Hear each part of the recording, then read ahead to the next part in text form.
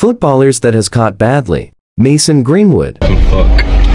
Sometimes dick. Yeah. And then he's dick.